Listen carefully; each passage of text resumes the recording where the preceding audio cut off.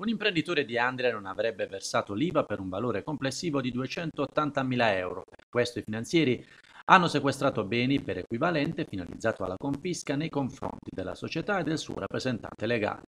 L'attività opera nel settore del confezionamento di camicie e t-shirt. L'attività di indagine, coordinata dalla Procura di Trani, ha permesso di scoprire il mancato versamento dell'IVA per un valore complessivo superiore a 280.000 euro. Il sequestro preventivo è stato disposto quale pretesa erariale sulle disponibilità finanziarie depositate sui conti correnti e depositi bancari per un ammontare complessivo di 282.682,78 euro.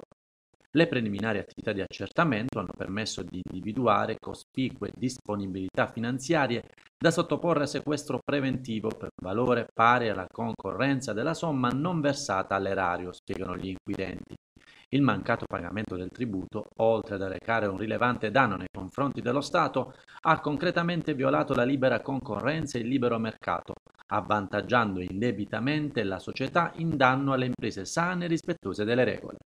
L'attività eseguita dalla Guardia di Finanza mira a rafforzare l'azione di contrasto ai contesti di illegalità economico-finanziaria connotati da maggiore gravità a tutela del sistema economico sano, delle leggi di libera concorrenza e degli imprenditori onesti e rispettosi delle regole che vengono danneggiati da tali comportamenti fraudolenti.